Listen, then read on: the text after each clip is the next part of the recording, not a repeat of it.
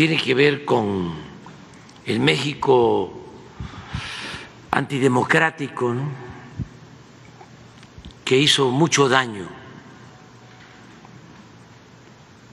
Ese, ese sistema político antidemocrático de compra de votos,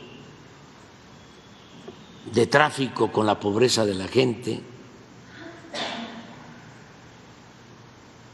de falsificación de actas, de relleno de urnas,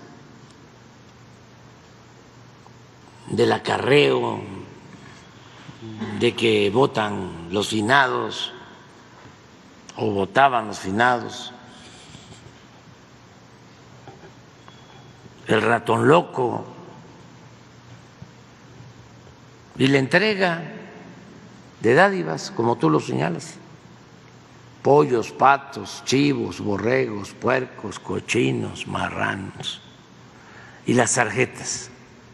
Y dinero en efectivo.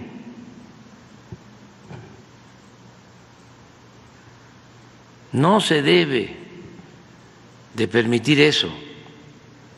Y está prohibido en la Constitución, en la ley, muy claramente y hay que denunciarlo. Y el voto tiene que ser libre. Las elecciones limpias y libres, no al fraude. Que cada ciudadano vote por lo que le dicte su conciencia.